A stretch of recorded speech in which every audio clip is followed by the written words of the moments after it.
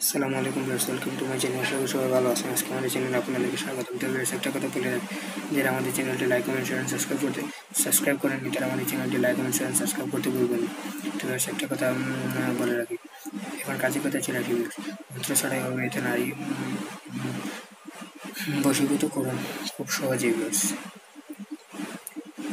তো বিয়ার্স এখন কাজের কথা চলে আসি। যেভাবে আমি ওই আমি একটা ওইটা যে আঁকছি ওইভাবে আপনারা আঁকার পরে কিন্তু ওই যে যেভাবে দেওয়া আছে মায়ের নাম বাবার নাম আর ওইটাতে দেখবেন তো যেভাবে দেওয়া আছে সেভাবে আপনারা আঁকার পরে বিয়ার্স এটা একটা ইয়ে, মন্ত্র ছাড়াই যে এটা যেভাবে আঁকবেন আঁকার পরেই এটা একটা কবচ আছে না কবচের ভিতরে ভরবেন তো এটা জাফরান কালি দিয়ে ভোজপত্রের বললে তো ওইটা লেখার পরে কবচের ভিতরে ভইরা যে মায়ের যে মেয়ের সাথে মানে অবৈধ অবৈধ নারীকে বসীভূত যে করবে তার রুমের কোনো আশেপাশে এবং যে সে যদি কোনো রাস্তা দিয়ে ভালোভাবে যে রাস্তা দিয়ে সবচেয়ে বেশি চলাফেরা করে, সেই রাস্তা দিয়ে যদি পুঁতে রেখে আসতে পারেন তাহলে এটা কিন্তু হান্ড্রেড পার্সেন্ট পরীক্ষিত।